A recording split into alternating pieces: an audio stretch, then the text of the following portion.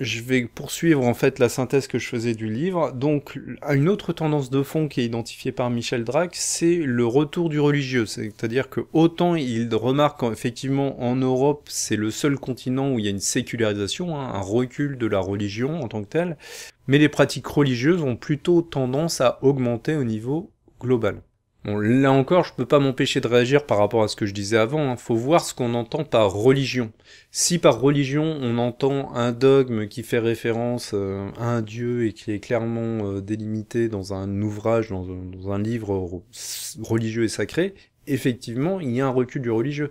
Si maintenant on donne au mot religion un sens beaucoup plus large, qui est tout simplement euh, une idéologie qui relie les gens, religion relie les gens, si c'est ça la définition qu'on a de la religion, je peux vous assurer que la religion est absolument pas morte en Europe, mais au contraire qu'elle se déploie de manière extrêmement virulente à travers l'idéologie dominante, qui permet d'accéder à une forme de cohérence idéologique des individus et de leur offrir un paradigme, une vision du monde en commun. Alors il y a une autre tendance euh, que Michel Drac baptise euh, la tendance euh, de crise du sens en fait, qu'il désigne de manière assez rapide sur le fait que nos sociétés accumulent le codage et le surcodage.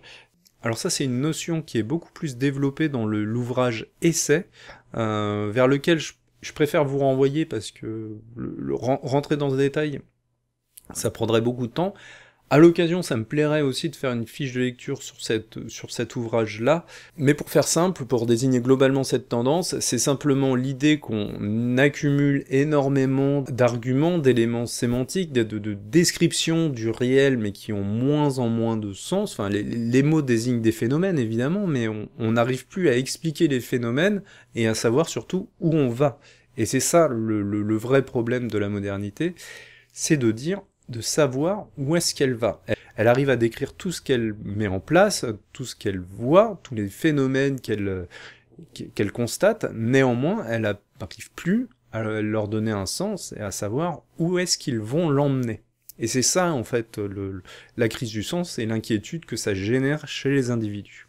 Là encore, je vais vous lire un petit extrait que je commenterai ensuite pour pas, pour pas dénaturer. Donc, Michel dit la chose suivante. Le grand secret de l'Occident contemporain, il n'a plus de raison d'agir. Quelque chose au fond de son âme s'est brisé. Comme une voûte sans clé de voûte, il tombe sur lui-même. Toutes les cultures ont admis le principe sacrificiel. L'individu devait se sacrifier à sa famille, à sa patrie et ses descendants. D'où le culte des ancêtres et la consécration religieuse de l'instinct de reproduction. Or, à partir des années 60 en Occident, on a construit la société sur la négation du principe sacrificiel. Rupture avec l'anthropologie sous-jacente à toute culture. En réalité, en réalité, l'Occident contemporain n'a plus de culture. On a parlé de contre-culture, mais ça n'a pas duré. L'Occident contemporain n'a qu'une anti-culture. On remet en cause la prétendue libération des années 60-70 Tendance retour à la tradition? Bien tenté, mais ça ne marche pas. Comment recréer ce qui a été brisé? La vérité est que nous hésitons devant la conclusion qui pourtant s'impose. Il faut mourir pour renaître. Tendance paroxysme. L'Occident est une civilisation suicidaire. C'est amusant hein, parce qu'au final il parle de paroxysme, mais c'est autant un paradoxe. Hein. C'est le paradoxe d'une d'une société qui n'a pas admis le principe sacrificiel et qui pourtant euh, se sacrifie pour rien. Effectivement, c'est dramatique. Le, là encore, on pourrait dire que c'est l'inversion des, des, valeurs, le fait de ne plus avoir ce principe sacrificiel. Alors j'ai déjà expliqué pourquoi je pense qu'il faut plutôt le considérer comme une trajectoire idéologique plutôt que comme un simple symptôme du, déclin ou, ou d'une inversion des valeurs bêtes et méchantes. Je vais pas revenir dessus. Alors pour autant, je veux pas qu'il y ait de malentendus. Hein. Je considère effectivement que dans notre société actuelle, dans notre culture actuelle, euh, le principe du sacrifice est totalement négligé et je considère que c'est une vraie lacune qu'on devrait revenir réintroduire cette notion de sacrifice pour retrouver un plus grand équilibre au, niveau de notre culture. Parce qu'effectivement, on se focalise, on se polarise beaucoup trop sur la notion de liberté individuelle, de recherche du bonheur, et cette notion du sens du sacrifice, elle est totalement négligée. À tel point que les gens, effectivement, hein, vivent que pour eux-mêmes, et néglige le, fait de, de, sacrifier un petit peu pour les autres, pour, pour ses enfants, pour euh, être sûr que ses parents vieillissent bien. Bref, un certain nombre de choses qui sont totalement négligées. Et c'est effectivement réellement un des mots de notre société. Pour autant, faut aussi regarder le principe du sacrifice avec une certaine méfiance, parce que si effectivement le principe du sacrifice peut justifier que euh, des parents s'occupent de leurs enfants et y consacrent leur vie, le principe du sacrifice peut justifier énormément de bonnes choses. Cependant, le principe du sacrifice peut aussi amener des choses terribles. Euh, je veux dire, si notre société intégrait le principe de sacrifice, qu'est-ce qu'on aurait? Qu'est-ce qu'on aurait? On aurait des extrémistes euh, antispécistes euh, qui commettraient des, attentats suicides dans des boucheries. On, pourrait avoir quoi d'autre? Des militantes féministes qui, qui, qui, font vœu de chasteté tout simplement pour euh, éviter d'être sous la domination sexuelle de, du patriarcat Peut-être On pourrait. Euh, on pourrait avoir des, des, je sais pas, des militantes aussi antiracistes ou des militantes pour le multiculturalisme qui plutôt que d'avoir un enfant avec le patrimoine génétique de leur conjoint, euh, préférerait un donneur d'un autre groupe biologique tout simplement pour avoir le plaisir d'avoir un enfant métis qui sont euh, les, plus beaux enfants au vu de la vision du monde antiraciste. On, on pourrait avoir par exemple des, des, des attentats de, de, militants antifascistes euh, au, au, siège du, du, du FN. Euh, bref, on pourrait avoir énormément de comportements totalement ben, qui nous paraissent absurdes et incompréhensibles dans notre cadre, dans notre vision, dans notre paradigme d'aujourd'hui, mais qui pourraient reprendre du sens demain si on réinstaurait la notion de sacrifice au sein de l'idéologie dominante, et, se retrouver avec euh, des gens qui sont déjà plus ou moins des monstres au niveau idéologique, mais qui deviendraient des monstres aussi en pratique. C'est ça qu'on pourrait risquer aussi en réintroduisant le principe sacrificiel. Donc quand on réclame des choses vis-à-vis de, notre idéologie, de notre culture, des choses qui, nous ont échappé, faut bien avoir conscience que c'est des choses qui, ont un revers. Et c'est le cas du sacrifice. Je voulais simplement le signaler, le souligner. Il y a parfois un manque de mesure quand on considère que voilà, c'est l'aboutissement du déclin et la catastrophe. Non, une des choses qui a fait que l'Occident s'est autant développé dans, cette mesure, c'est aussi parce qu'il a placé le bonheur et la liberté individuelle au centre de son projet. Si on n'avait pas placé la liberté individuelle au centre du projet, on n'en serait certainement pas arrivé là. Faut pas jeter le bébé avec l'eau du bain. Euh, donc voilà, voilà ce qu'on peut dire sur l'aspect culturel. Donc après avoir balayé toutes ces thématiques, Michel Drac s'attache euh, sur quelques signaux de l'actualité sur le contexte global. Donc c'est des actualités qui datent un peu. Je vais peut-être pas revenir dessus. Et puis également, un, peu plus loin, des signaux d'actualité sur le contexte euh, français. Bon, je, je vais pas revenir dessus, il y a beaucoup de choses qui, qui datent. Euh, par contre, c'est intéressant, le, le, le, phénomène Zemmour est presque entrevu par Michel Drac, et je vais vous lire l'extrait. Au besoin, on fabriquera ses électorats. Il existe une extrême droite qui déteste Marine Le Pen. Elle peut servir à repousser les populations immigrées vers le pouvoir. Robert Ménard et ses amis appellent à oser la droite. Ils sont plutôt flous sur la question européenne. Vers une nouvelle droite européiste anti-immigration? Donc ça, il écrit ça en 2017. Et là, on vient d'avoir le phénomène Zemmour, probablement la seule chose qui était cohérente dans le projet de Zemmour, c'était son parti pris anti-islam. Hein, parce que, pour le reste, on pouvait toujours trouver une déclaration qui était plutôt favorable à l'Europe et d'autres euh, qui étaient plutôt défavorables à l'Europe. Donc, euh, le, Zemmour était vraiment caractérisé par ça. Et quand on lit ce paragraphe-là, on peut pas s'empêcher de penser à, Zemmour qui a été propulsé euh, médiatiquement du jour au lendemain, un peu comme l'avait été Macron cinq ans plus tôt. Sauf qu'effectivement, il a eu un double rôle, en fait, ça a été de rendre un peu plus présidentiable Marine Le Pen, ça, faut lui reconnaître ça. Mais il a aussi, effectivement, incarné une espèce de, de, de, ligne beaucoup plus dure à l'extrême droite, mais pas anti-européenne. Alors à présent, on arrive au moment qui est très intéressant, hein, le moment des prospectives. Donc pour déployer ces scénarios, hein, ces huit scénarios, euh, Michel Drac va poser trois questions, en fait. C'est trois éléments, trois événements qui vont être cruciaux sur les évolutions euh, politiques, géopolitiques, les évolutions du système et euh, les problèmes que va rencontrer le, Macron pendant son quinquennat. Alors ces trois incertitudes majeures sont les suivantes. C'est euh, va-t-il y avoir un resserrement monétaire brutal? La zone euro va-t-elle exploser? Et va-t-il y avoir une ou plusieurs grandes guerres avant 2022 Bon, aujourd'hui, là, on est en 2022, le, quinquennat est achevé, on a des réponses à ces questions. Euh, je, vais vous dire les, probabilités qu'il y a dans le bouquin, et puis aussi, je vais, je vais remettre les probabilités, les dernières probabilités qui datent de 2019 que, qu'avait fait euh, Michel Drac. Alors, dans son livre, euh, les probabilités au pifomètre, hein, bien sûr, que, que, Michel Drac avance. Resserrement monétaire, 20% de chance qu'il soit brutal, 80% de chance qu'il soit prudent. Zone euro, 60% de chance pour qu'elle soit maintenue jusqu'en 2022, 40% de chance pour qu'elle explose d'ici là. Guerre, seulement 10% de chance pour que ça tourne vraiment très mal. Optimisme quand tu nous tiens. Alors d'abord on va commencer par écouter l'extrait de Michel Drac qui donne ses dernières euh, estimations des, pourcentages, les dernières euh, qu'il a délivrées en 2019.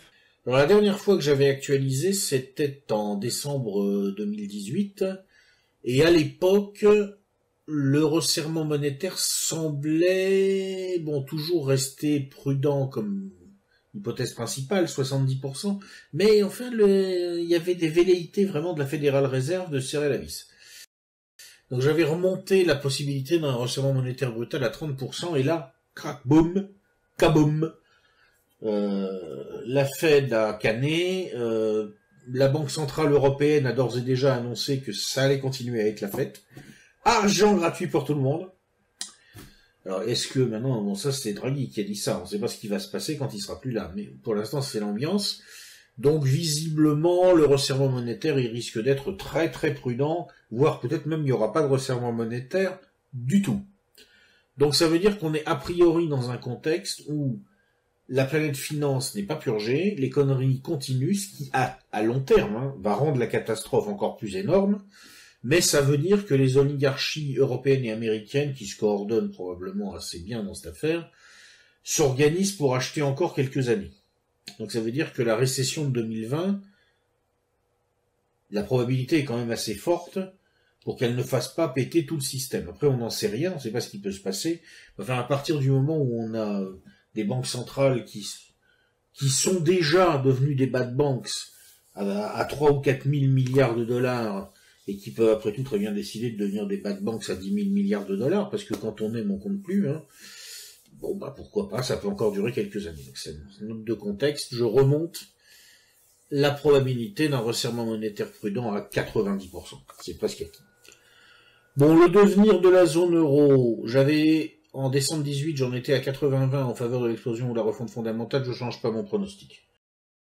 Là, l'Italie est en train manifestement de commencer à se préparer à introduire une monnaie parallèle à l'euro. Bon, c'est les modalités techniques sont pas encore connues. Pour l'instant, c'est encore un simple projet. On ne sait pas si ça va se faire, mais c'est dans les cartons. En même temps, euh, pour reprendre une formule bien connue, euh, on a appris récemment aussi que l'Union européenne et la Russie commençaient à travailler à un système de paiement dans leur propre monnaie pour échapper au dollar, comme les Russes l'ont déjà fait avec les Chinois. Donc euh, on s'acheminerait vers un maintien de la zone euro avec l'euro comme monnaie commune, mais une remise en cause de son statut de monnaie de facto unique. Alors on va me dire que c'est pas vraiment une monnaie unique, c'est un currency board de monnaie homonyme. Oui et non, du point de vue des utilisateurs, concrètement c'est une monnaie unique parce que pour l'instant vous pouvez payer vos impôts dans cette monnaie-là. On va peut-être le remettre en cause ce statut, donc je, je garde le 80-20. Ça me paraît très probable, en tout cas, qu'il se passe quelque chose dans la zone euro d'ici à 2022. Après, peut-être je vais être démenti par les faits. Peut-être que c'est les 20% qui vont s'avérer être justes. Mais franchement, euh, ouais, ça, l'euro tel qu'on l'a connu là depuis euh, euh, depuis une vingtaine d'années quasiment, je pense que il est quand même bien faisandé maintenant mais je crois pas nécessairement pour autant qu'on va revenir aux monnaies nationales. Attention, j'ai pas dit ça. Voir. Je pense que la zone va évoluer, que ça, peut-être les gens le verront même pas, mais la nature même de l'euro risque de changer dans les années qui viennent. 80. Conflit entre grandes puissances. Alors, euh, ben, malheureusement, euh, je pense que la probabilité de conflit augmente.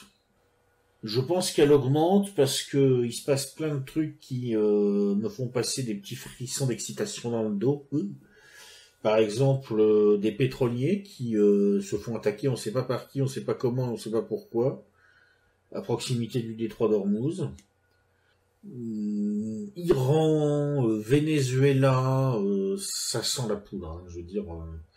Donc ouais, on va dire allez, 30% de chance pour que ça dégénère en guerre, mais en vrai quoi. Alors pas forcément la troisième guerre mondiale, hein, on se calme, hein. calme-toi, ah, ne cours pas vers ton bunker secret que t'as creusé à 50 mètres de profondeur avec 50 ans de réserve de, de, de bouffe dedans, c'est pas la peine. De toute façon, tu n'auras pas le temps d'arriver au bunker, tu seras vite risqué avant si ça doit péter. Donc reste cool, simplement, ça, ouais, ça risque de chauffer. Le, fait est que le resserrement monétaire, qui vraiment apparaît comme brutal, vraisemblablement, est en train de se produire maintenant où il va se produire pendant l'année 2022. Donc il ne s'est pas produit avant 2022, par contre, vraisemblablement, vu tout ce qui est dit euh, dans les dans l'information financière, il va y avoir un resserrement monétaire tout au long de cette année et les banques centrales revendiquent de réaliser ce resserrement monétaire en vertu du fait que l'inflation est forte. Je reviendrai sur ces motivations plus tard. Euh, la zone euro, la zone euro n'a pas explosé, elle est maintenue euh, et a priori il n'y a pas de raison qu'elle explose euh, dans l'immédiat mais j'y reviendrai aussi. Pour la question de la guerre, c'est un peu plus délicat parce qu'il faut voir ce qu'on entend par là. Si quand Michel Drake détaille son la probabilité de la guerre, il entend un conflit militaire qui a des répercussions très importantes. Là encore, avec la guerre en Ukraine, on est un petit peu à la lisière si vous voulez, c'est pas un conflit militaire qui s'est généralisé à la manière d'une troisième guerre mondiale. D'ailleurs, dans tous les scénarios de troisième guerre mondiale qu'évoque Michel, à chaque fois, c'est parce qu'on a des dirigeants russes et américains qui sont euh, jeunes, inexpérimentés et, euh, et tordus. Euh, là, euh, actuellement, on a plutôt un papy euh, du côté des États-Unis et quelqu'un de, de, de, de, rusé, peut-être qu'on peut trouver cruel, mais qui est Vladimir Poutine et qui est expérimenté. Donc, on n'a pas de troisième guerre mondiale et d'ailleurs, on sent qu'il n'y a pas de volonté d'y aller. Euh, en tout cas, pas encore. Le, Biden a manifesté de, de, quand, euh, par exemple, les Polonais ont proposé de mettre à disposition leur aviation euh, pour les Ukrainiens. non, on, sait pas, on n'a pas sauté sur l'occasion. On a, on a quand même le, le sentiment d'une appréhension d'un conflit militaire généralisé. Par contre, ça a été l'occasion d'énormément de, sanctions. des Occidentaux, ou plus particulièrement des pays de l'OCDE, contre le contre les États, euh, contre la Russie pardon. Donc les pays de l'OCDE ont fait ont réalisé des sanctions économiques et financières contre la Russie. De manière un petit peu logique, en fait, ça, ça, a encouragé plutôt le phénomène de dédollarisation avec euh, la Russie qui a demandé à ce qu'on la paye en roubles. Et donc là, on, on touche au cœur, au nœud vraiment du, du, du problème, au nœud de l'empire américain, qui est pas vraiment l'empire américain, mais qui est plutôt l'empire du dollar, et on commence à, l'attaquer sur son air. Euh, et là, là, c'est ça, ça commence à être euh, à être douloureux, mais aussi intéressant. Et c'est en l'occurrence un conflit militaire, la guerre en Ukraine, qui va être porteur de grandes conséquences au niveau euh, géopolitique et au niveau financier, je pense, à terme. Donc c'est un conflit qui est aussi euh, porteur de grandes conséquences au niveau des prix, au niveau de l'inflation, c'est-à-dire que depuis un an, j'ai déjà évoqué, on a une augmentation généralisée des prix qui était liée à un redémarrage très fort de l'économie et en fait au fait qu'on arrive aux limites physiques du système, aux, limites des ressources, mais en plus du fait qu'on arrive aux limites des ressources, on a des pays qui sont des grands producteurs de matières premières agricoles ou des matières premières de bois, de, de, pétrole, de gaz qui sont en guerre, à, qui on impose des sanctions et on essaye de limiter les achats. Et donc tout ça, c'est une spirale qui renforce le phénomène d'inflation. une des raisons qui est invoquée dans les banques centrales lorsqu'elles se destinent à réaliser ce resserrement monétaire finalement de manière assez forte, hein, à base de 50 points de base euh, tous les mois ou tous les deux mois, ou, ou 25 points de base, bref, un resserrement monétaire qui est quand même très fort. La raison qui est invoquée, c'est l'inflation. Si vous êtes un petit peu intéressé à la question du resserrement monétaire et de l'inflation, en fait, ça n'a pas de sens. Enfin, le resserrement monétaire, c'est un outil qui peut aider à corriger l'inflation quand c'est une inflation qui est liée à la demande, hein, qui est liée au salaire, qui est liée à un processus économique. Quand c'est une inflation qui est liée à la raréfaction des matières premières et des ressources, vous pouvez réduire la masse monétaire, augmenter le coût de l'argent, ça va pas faire qu'il y aura plus de charbon ou de pétrole à disposition.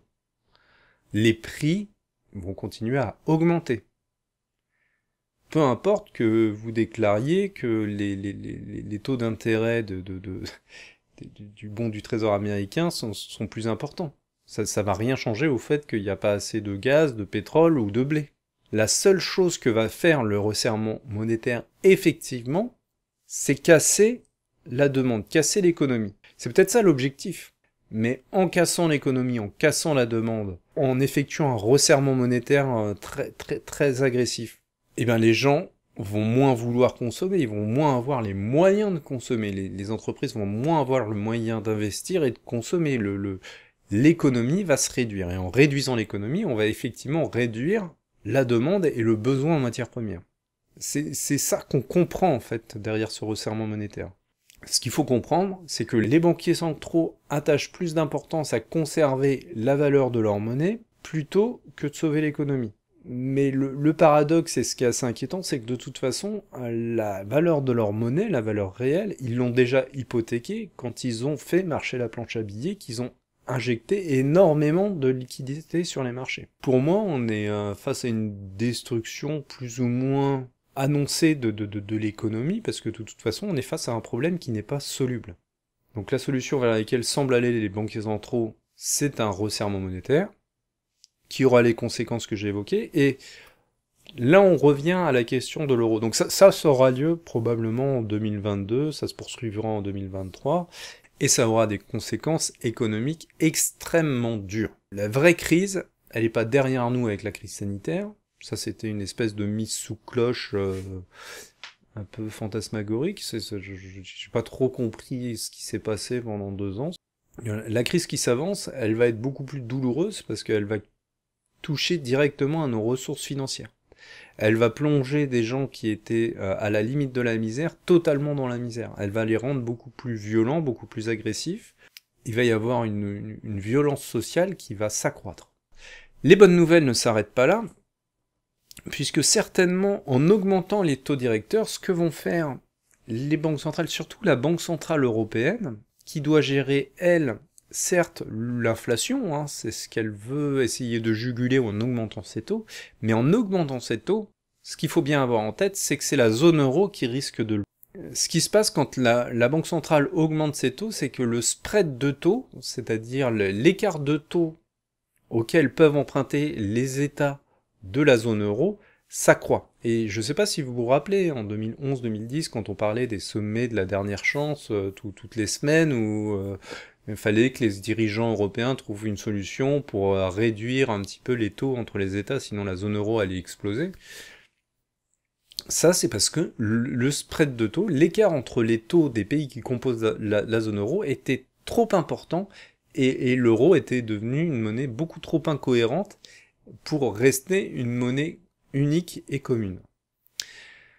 Ça, on a réussi à le juguler en pratiquant le quantitative easing, en ayant une, politique monétaire très leste, en distribuant de l'argent, euh, en rachetant plus ou moins les obligations d'État par des mécanismes déguisés, mais en fait c'est à ça que ça revenait.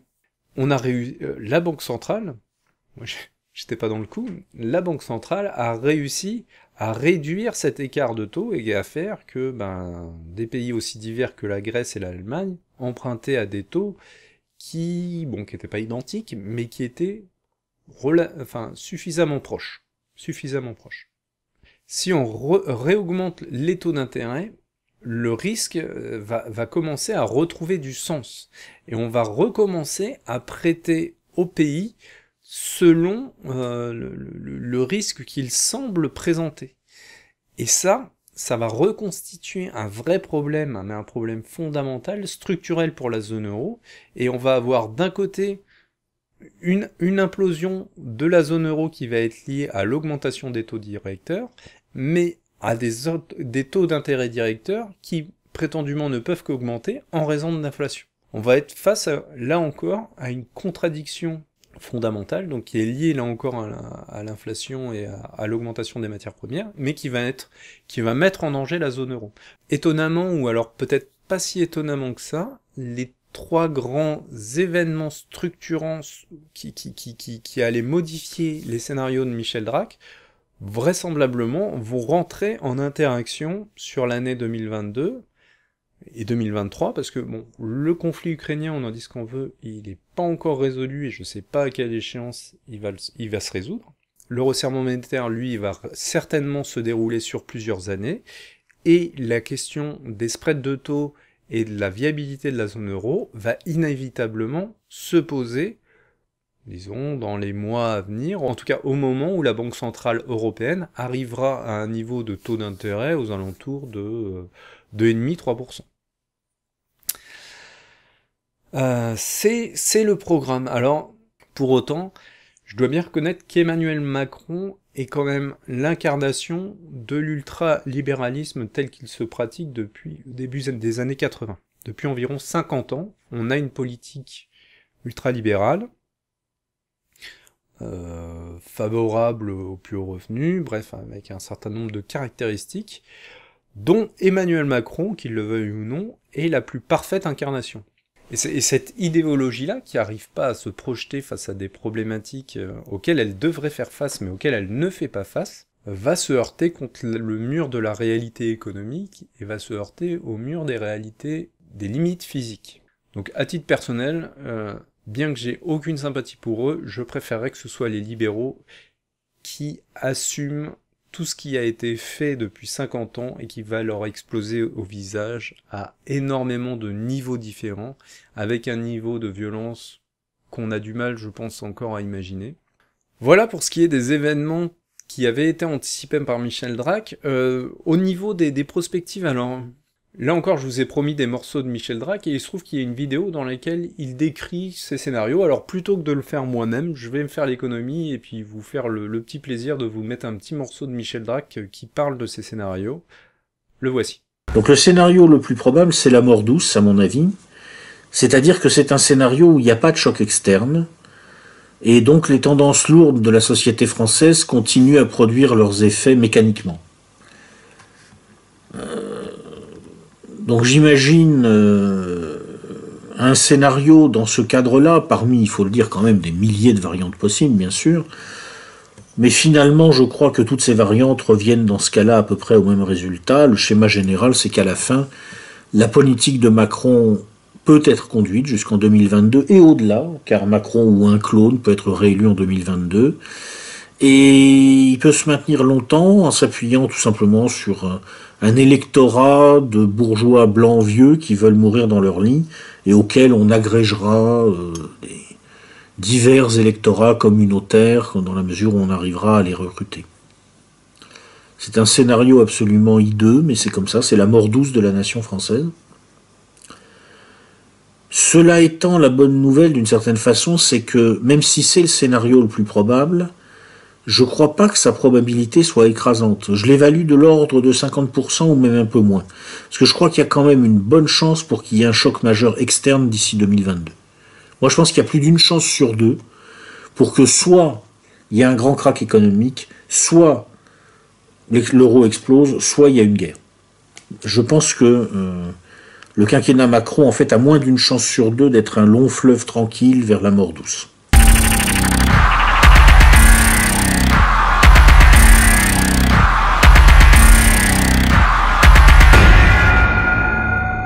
Alors les sept autres scénarios n'ont pas du tout des probabilités comparables. Euh, le scénario d'une refondation de la zone euro a évidemment quand même une probabilité beaucoup plus forte que le scénario de la Troisième Guerre mondiale. Je me suis amusé à calculer à partir d'hypothèses évidemment pifométriques la probabilité pour la Troisième Guerre mondiale pendant le, quinquennat d'Emmanuel Macron, c'est de l'ordre de 1%, à mon avis. Bon. revenons aux choses sérieuses. Le, scénario de l'euro 2.0, donc là, on a une explosion partielle de la zone euro, qui est le point de départ de sa refondation sur des bases nouvelles. Donc là, en l'occurrence, dans la variante que j'ai illustrée, euh, on va vers une monnaie vraiment européenne, ce qui n'est pas vraiment le cas de l'euro, qui n'est pas une vraie monnaie unique. Enfin, c'est très compliqué. Elle est unique de certains points de vue et pas de l'autre. Là, cette fois, c'est une vraie monnaie unique, une Einheitswährung, comme disent les Allemands, c'est une, une, monnaie d'unité, mais elle est complétée par des monnaies régionales qui permettent d'en limiter un petit peu les, dégâts sur le tissu économique des pays fragiles. Euh, alors on peut bien sûr être pour ou contre cette hypothèse, je ne prends pas parti là-dessus. Euh, mon propos est uniquement de faire réfléchir sur les circonstances qui pourraient entraîner ce genre de refondation. Ensuite, on a le scénario de la grande spoliation. Donc euh, là, on assiste, après un krach financier majeur, à la transformation du monde occidental en une sorte de dictature bancaire pour sauver un système financier qui est en faillite complète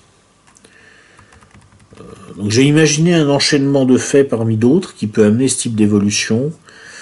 D'abord, bien sûr, donc un crack monstrueux, c'est indispensable pour euh, rendre possible ensuite le passage à la dictature, parce que il faut une situation, si vous voulez, où les populations sont en état de choc. Euh, ensuite, un coup d'État du complexe militaro-industriel aux États-Unis, et par contagion, la transformation, par exemple en France, de la République macroniste en un État, un régime hypocritement autoritaire et policier. Et malheureusement, je dois dire que la probabilité de ce scénario assez terrifiant ne me paraît pas négligeable. Euh, je crois que je l'ai évalué pifométriquement à une chance sur dix. Euh, on a un autre scénario euh, qui a une probabilité pas très éloignée de celle-là et qui par contre est très sympa, c'est ce que j'ai appelé le printemps italien. Donc là, on est dans un scénario où le mouvement 5 étoiles prend le pouvoir en Italie, et ça fait exploser la zone euro. Euh, alors euh, l'Italie sort de l'OTAN et elle met l'Union européenne devant ses contradictions. Et alors, en fait, quand on y réfléchit, ça débouche sur des choses très intéressantes et très drôles. Et dans la variante que j'ai étudiée, ce qui est comique, c'est qu'à la fin du scénario, qui est a priori le moins européiste, eh bien, on, va déboucher sur la constitution d'une véritable Europe. Parce que, comme on aura libéré en quelque sorte les peuples européens de la chape de plomb technocratique, ils vont inventer ensemble une Europe qui ne sera pas technocratique. Donc il y a des choses comme ça qui rendent quand même un petit peu optimiste dans notre, dans notre nuit noire. Et puis bon, les quatre derniers scénarios, alors là, ce sont des scénarios beaucoup plus durs parce que c'est des scénarios de guerre. Donc dans Mourir pour Riga, j'imagine un commandant en chef de l'OTAN en Europe qui organise une crise avec les Russes dans les États baltes. Il a comme but en fait de faire reconnaître par euh, Berlin, Paris et Madrid la subordination complète de leurs troupes à l'OTAN. Parce qu'en fait, l'OTAN est un truc hum, assez bizarre et moins, moins contraignant qu'on ne le croit généralement. Euh, et ce général voudrait bien que ça devienne vraiment contraignant parce qu'il a un petit peu peur de voir émerger une défense européenne un peu trop indépendante des États-Unis. Le problème, c'est que ça dérape. C'est-à-dire qu'il il voulait fabriquer une petite crise avec les Russes, mais bon les, Russes ne sont pas connus pour leur sens de la mesure, et donc ah, Aïe, problème. Euh, dans le dérapage incontrôlé, là je teste autre chose. Donc j'imagine que pour se faire réélire en 2020, Trump veut se fabriquer une bonne petite crise hein, avec la Corée du Nord, histoire de prendre des postures euh, bellicistes, n'est-ce pas, pour rallier des voix d'électeurs américains qui ne brillent pas par leur finesse. Euh, d'où Trump d'ailleurs, enfin bon, passons. Et le problème, c'est que, euh, eh bien, ça va pas non plus se passer comme prévu, c'est-à-dire que il y a un concours de circonstances totalement imprévisible qui va survenir. Kim Jong-un est malade, il est cancéreux, il devient paranoïaque, euh, il surréagit. La CIA s'est trompée dans l'évaluation des capacités nord-coréennes et du coup, bing, le feu d'artifice commence. Alors là-bas, évidemment, vu la quantité d'explosifs qui sont accumulés, une fois que c'est parti, ça fait du dégât. Et donc je m'amuse à, voir ensuite comment, une sorte de, guerre de moyenne intensité, hein, pas, pas quand même le grand feu d'artifice, mais enfin un truc qui fait pas mal de dégâts déjà, en Corée, va euh, changer la donne à travers l'Eurasie, donc ça, se répercute sur ce qui se passe au Moyen-Orient, et de là dans la corne de l'Afrique, et de là ça va changer les relations entre les États européens, ce qui fait que la crise de l'euro, qui survient à peu près euh, au même moment, et dans un contexte qui n'est pas très éloigné de celui euh, étudié dans le scénario Euro 2.0, eh bien, dans ce cas-là, elle va donner des résultats tout à fait différents. C'est-à-dire qu'une chose qui est assez fascinante quand on réfléchit à la façon dont fonctionne un monde multipolaire totalement intégré, c'est qu'en fait, le même phénomène se produisant à un endroit de la structure peut avoir des résultats très différents selon ce qui se passe à un autre endroit de la structure, par contre-coup.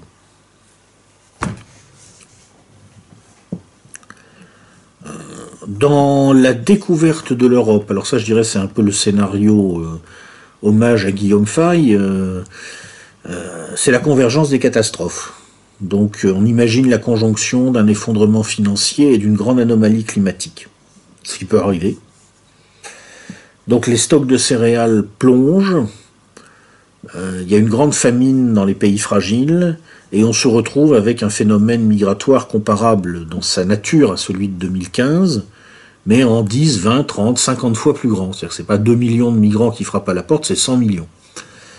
Et là, on regarde un petit peu ce qui se passe en Europe, comment ça réagit politiquement, et évidemment, là, il se passe des choses.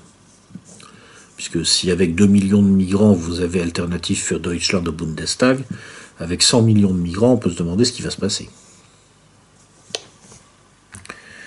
Et puis enfin, il y a un dernier scénario qui est esquissé, parce que c'est quand même un scénario assez improbable. Donc c'est la Troisième Guerre mondiale. Alors là, on est dans dans un monde qui explose sous nos yeux. Il y a une multiplication des conflits un peu partout qui font que, si vous voulez, le grand règlement de compte planétaire devient une option envisageable pour des dirigeants dépassés par les événements. Et ça va se produire à la suite d'un coup d'État néo-nazi à Kiev, qui va déboucher sur une intensification incontrôlable du conflit du Donbass, une intervention russe, une surréaction de l'OTAN, et à partir de là, bing, c'est parti. Bon, c'est un scénario que je ne fais qu'esquisser parce que, comme je l'explique dans le bouquin, euh, mon opinion personnelle est que si on part dans cette direction-là, on est un peu dispensé d'évaluer la suite parce qu'il n'y en a pas, quoi. Bon. Mais on peut quand même s'amuser à imaginer comment ça pourrait se produire, histoire de se faire peur. Voilà. Alors j'aimerais dire la chose suivante aux commentateurs YouTube. Euh, faut être très vigilant avec ce que vous mettez en commentaire. Il y a, plusieurs types de commentaires. Alors si c'est des compliments, bon, euh, très bien, ça me dérange pas, ça fait toujours un petit peu plaisir, ça, met un peu de baume au cœur, euh, très bien, il n'y a pas de souci. Si maintenant c'est des choses qui sont plutôt négatives, ça peut justifier. des, des critiques, si c'est des bonnes critiques, j'y suis favorable. Entendons-nous bien. Euh, par bonne critique, je suis assez exigeant, hein, je m'excuse, mais j'entends des critiques qui sont déjà formulées de manière polie, d'accord, qui sont précises et qui sont pertinentes. C'est des critères qui sont absolument impératifs, hein, parce que si c'est pas précis, si c'est pas pertinent, si c'est impoli, vraiment, je, je, je vais pas avoir beaucoup de considération et vous allez être à côté de la plaque. Hein. par exemple, quand on me dit, euh, effectivement, le, le, le, son est pas bon, t'as acheté ton micro euh, sur Wish.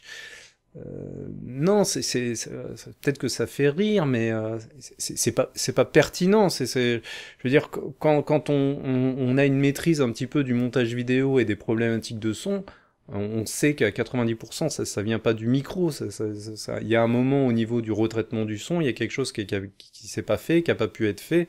Quand on, formule un commentaire, faut être sûr que ce soit pertinent et faut être capable d'apporter une solution, si vous voulez. Au-delà du fait d'être précis et pertinent, faut, faut, sentir capable d'apporter quelque chose. Sinon, ça, ne sert à rien. C'est juste euh, du négatif pour être, pour le plaisir d'apporter du négatif.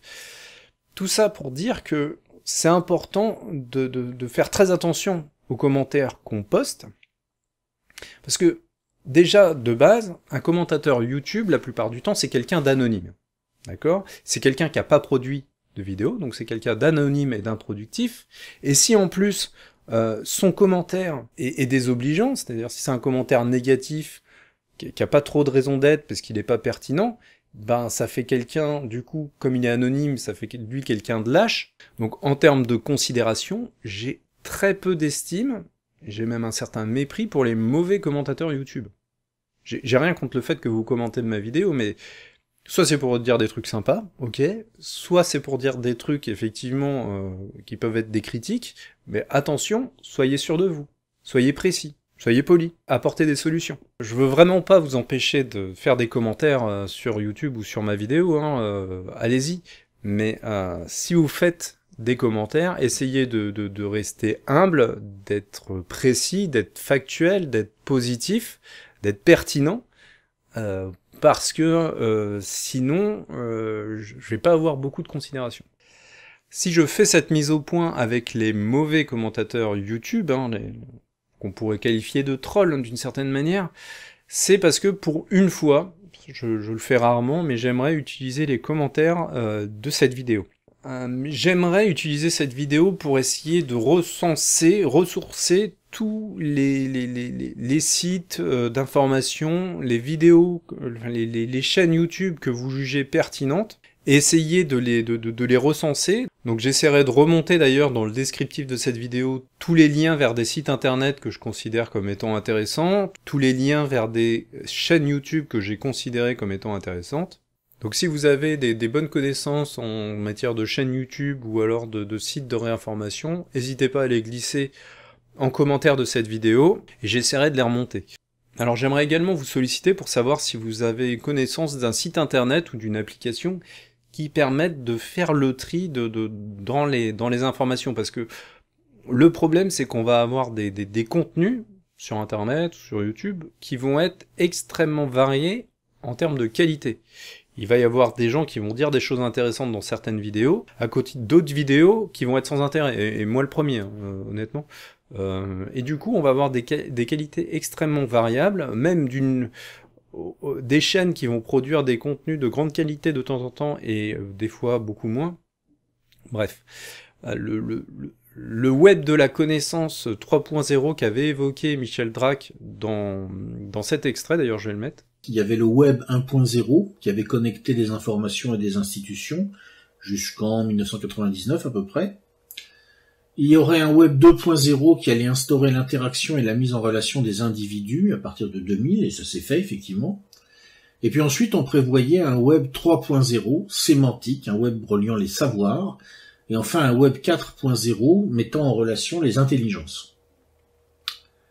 Mais visiblement, entre le Web 2.0 et le Web 3.0, le projet est parti sur une voie inattendue. La forme d'Internet n'a pas été sémantique. Elle a été dessinée par l'économie de l'attention. Dans cet extrait, Michel Drac parle d'un web 3.0, euh, un web de la connaissance qui n'existe pas. Moi, je crois au contraire que le web de la connaissance existe. Le problème, c'est qu'il est noyé dans le web de la, de la, de la bêtise, de la, du divertissement et de, la désinformation. Ça, c'est un vrai problème. C'est un vrai problème. Euh, mais en fait, ce web de la connaissance existe. Le problème, c'est que c'est un petit peu comme une, décharge dans laquelle il y aurait euh, des, des, pépites d'or ou des, trésors en termes de, de livres à lire il faut avoir beaucoup de temps pour chercher les choses qui vont être intéressantes et pertinentes. Donc, au niveau des commentaires, en plus de me remonter les chaînes YouTube, les sites d'information qui sont intéressants, j'aimerais savoir si vous avez connaissance d'un site qui n'ont pas fait de la de l'actualité, de l'information sur, sur des faits d'actualité, qui fait pas, euh, qui promeut pas une chaîne YouTube, mais qui se contentent d'évaluer des contenus et la qualité des contenus. Je, je trouverais ça extrêmement intéressant d'avoir ce web, ce, d'avoir ce tri qui est fait sur le web pour pouvoir aller vers les, connaissances pertinentes et pouvoir gagner énormément de temps et, et qui permettrait d'aller directement sur les bons gisements de connaissances. Ça, c'est un, vrai défaut et ce serait vraiment ça. Enfin, quand on parle du, web 4.0, le web de l'intelligence, en fait, ce serait ça. Ce serait sa manière de, à mon avis, de naître, son acte de naissance. Ce serait d'avoir un, site qui permet de remonter, d'identifier, de, cartographier. C'est ça le, le bon terme, de cartographier les zones de connaissances, de les évaluer, de dire bon voilà, là il y a des bonnes zones de connaissances, mais euh, c'est à une fréquence qui est, variable. Là, ben c'est une très bonne chaîne où c'est il y a un contenu de grande qualité qui est constant, etc. Bref, avoir une évaluation de ce type-là, ce serait ça que je voudrais trouver, et donc si quelqu'un a connaissance de ce type de, site internet ou d'application, je serais heureux qu'il le signale en commentaire, et je serais heureux de le mettre dans la description de la vidéo si jamais quelqu'un a quelque chose de ce type-là c'était mon message aux commentateurs YouTube. Ça me paraissait important, le, premier message, de dire ce qu'était un beau commentaire YouTube. J'espère que ça a permis de chasser un petit peu les, trolls du troupeau euh, et, de, de, purifier un peu par avance les commentaires que je pourrais avoir en marge de cette vidéo. Alors à présent, je vais passer le message aux auditeurs de Michel Drac. Si vous êtes connecté à cette vidéo, c'est très certainement que vous connaissez et que vous appréciez Michel Drac. Alors, je vais me risquer de faire une petite analyse de Michel Drac et particulièrement de sa vision des choses. Dans une vidéo, il y a Albert Dupontel qui remarquait qu'on avait une société qui avait tendance à créer des prédateurs et des consommateurs. Pour le traduire en termes, en termes psychologiques, en termes de grille de lecture morale, on a, selon lui, et je pense que c'est très vrai, une société qui a plutôt tendance à produire des consommateurs des, vaches à lait, des gens qui sont centrés sur leur plaisir, leur divertissement, leur bonheur individuel, mais c'est un bonheur qui est axé sur les plaisirs. On pourrait parler en termes philosophiques d'hédoniste. Hein. On dit des fois hédoniste épicurien, c'est surtout hédoniste en fait. Et puis à côté de ces consommateurs, notre société a tendance à produire des prédateurs, c'est-à-dire des gens qui, ont, qui ne reconnaissent que la, puissance et surtout la puissance économique, hein, c'est plutôt ça que notre, société a tendance à valoriser, hein, la, domination sur le plan économique, aussi un petit peu sur le plan politique, mais surtout, quand on parle de, prédateurs, c'est plutôt des gens qui, ne jurent que par leur réussite sur le plan, économique, et qui travaillent à réussir sur le plan économique pour pouvoir peut-être après plus consommer, mais en tout cas, c'est ça qu'ils vont mettre en avant et qui va constituer pour eux une grille de lecture morale. Va être bien réellement pour eux euh, cette réussite sur le plan économique et va être mal tous ceux qui sont dans, le, dans la médiocrité, dans la pauvreté. Ça, ça va être source de, quelque chose de, de méprisable à leurs yeux. Ces deux types de grilles de lecture morale qui sont cultivés au sein de notre société. Albert Dupontel parle de deux personnes différentes, de deux types de personnes, mais en réalité c'est des manières de voir le monde, des manières morales de voir le monde, donc on va avoir le consommateur qui considère ce qui est bien, ce qui concourt à son plaisir et à son divertissement, et ce qui est mal, quelque chose qui fait qui l'ennuie et qui le fait souffrir. Et puis, à l'inverse, le prédateur qui va considérer ce qui est bien augmente sa puissance économique, et ce qui est mal, ce qui euh, le rend pauvre, et il va avoir de l'admiration pour ceux qui sont riches, et il va avoir du mépris pour ceux qui sont pauvres.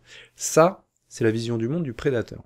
Et on a, des on a une société qui va cultiver ces deux grilles de lecture morale. Alors des fois, il va y avoir des gens qui sont très consommateurs, des gens qui vont être très prédateurs, et puis aussi la plus grande partie des gens qui évoluent au sein de l'idéologie dominante, qui vont être un peu l'un et un peu l'autre, qui vont essayer de, de, de se prendre un, un petit peu prédateur pour pouvoir être consommateur à d'autres moments, etc.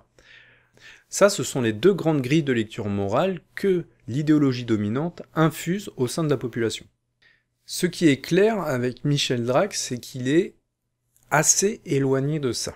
Alors, il a certainement au fond de lui une, part du prédateur qui lui a permis de faire des études en école de commerce et de faire du contrôle de gestion, et puis une part de consommateur qui fait qu'il aime bien la bonne chair. Il y a d'autres grilles de lecture morale qui amènent Michel Drac à produire des vidéos, à faire des choses qui sont, qui répondent pas à une injonction morale de consommateur ou de prédateur.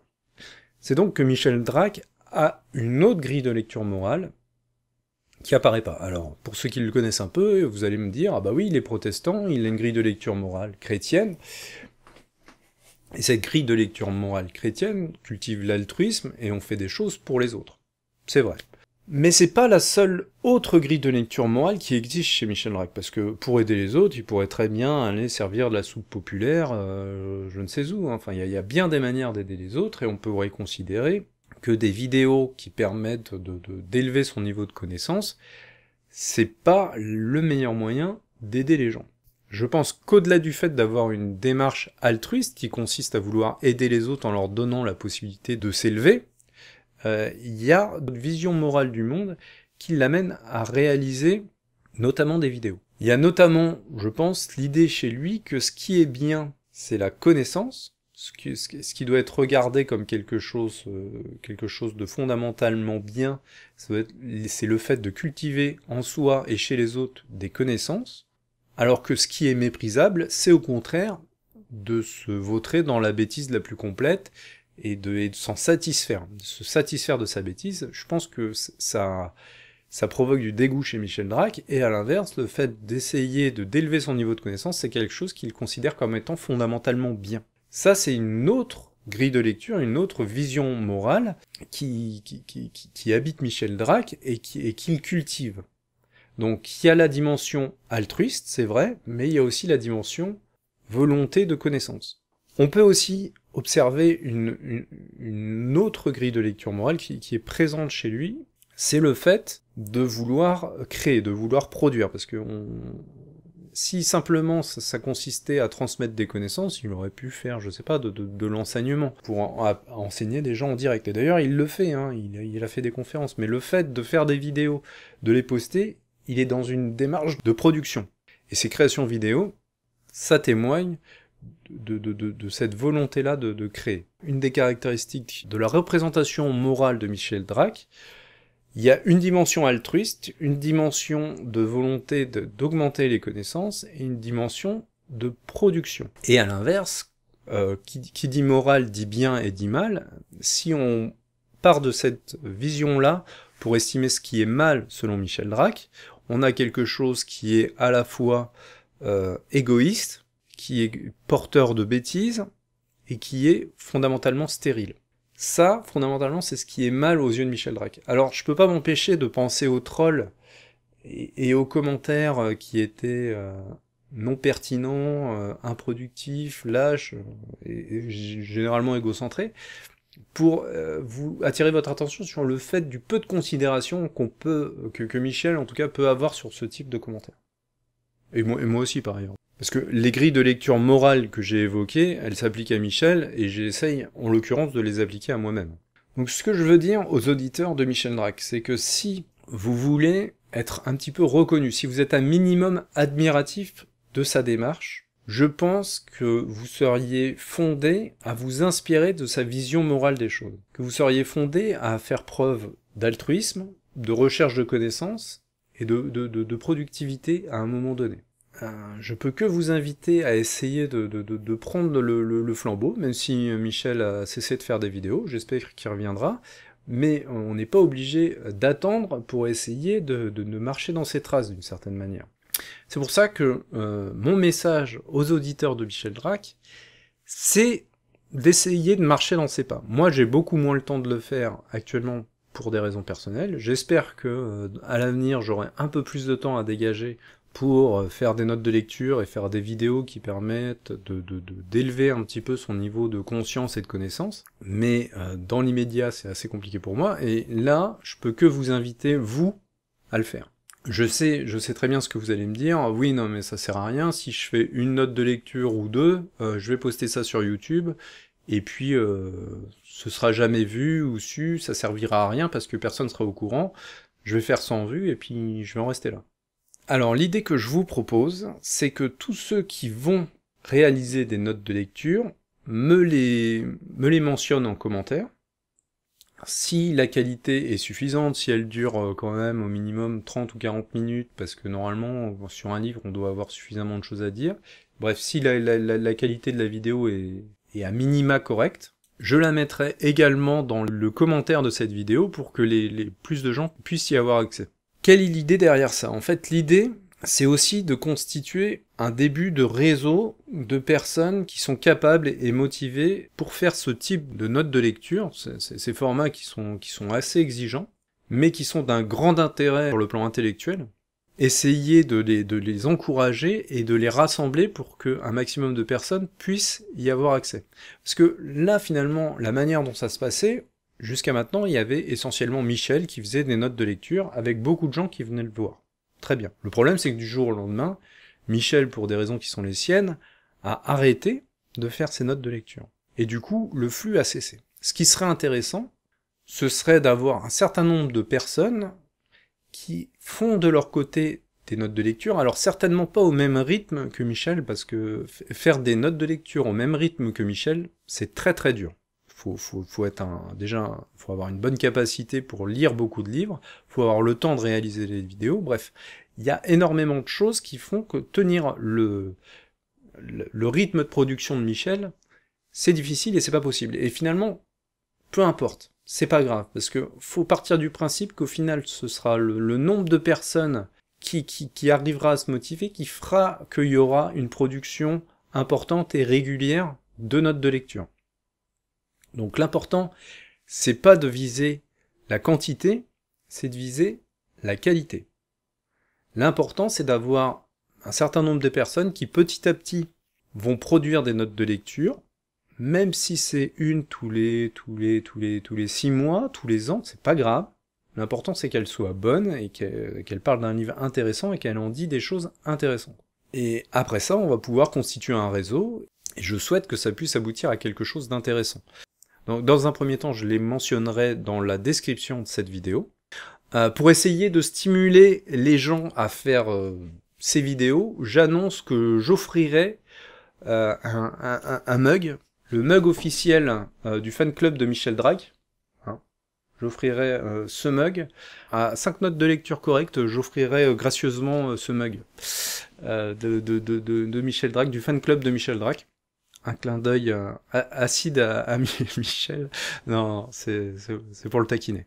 Donc euh, j'offrirai cette tasse, mais euh, mais l'idée, ça c'est c'est qu'à moitié sérieux, même si réellement j'enverrai le mug, mais l'idée c'est de se, se motiver à faire des notes de lecture qui soient d'un intérêt significatif et à essayer de créer une dynamique de, de, de production de connaissances et de mise en relation des intelligences. Voilà pour le message que j'avais à passer aux auditeurs de Michel Drac. Bon, et puis pour terminer cette vidéo, je vais passer un petit message à Michel. Euh, bah Michel, si tu m'écoutes, euh, je serais heureux que tu reviennes, au moins me faire une petite vidéo pour dire que j'ai raconté n'importe quoi sur ton livre, euh, me dire, me supplier d'arrêter de, de, faire des mugs pour ton fan club. Hein. J'ai d'ailleurs une excellente idée de, de, pins parlant qui dirait bonjour, euh, c'est Michel Drac. Ah Donc euh, je reviens parce que sinon je, vais faire des, grosses bêtises. Euh, je sais pas de quoi je suis capable, mais allez, une petite vidéo pour répondre à celle-là, ça me ferait énormément plaisir. Et puis sinon, euh, bah tant pis, je continuerai à attendre. Et je serai pas le seul parce que je sais que beaucoup de gens t'attendent. Voilà, je te, je te passe le bonjour, je te fais des gros bisous, et je te dis à bientôt, et je vous dis à bientôt à tous. J'espère que euh, les messages sont passés, sont reçus, et, et vont en inspirer certains. Voilà. Allez, salut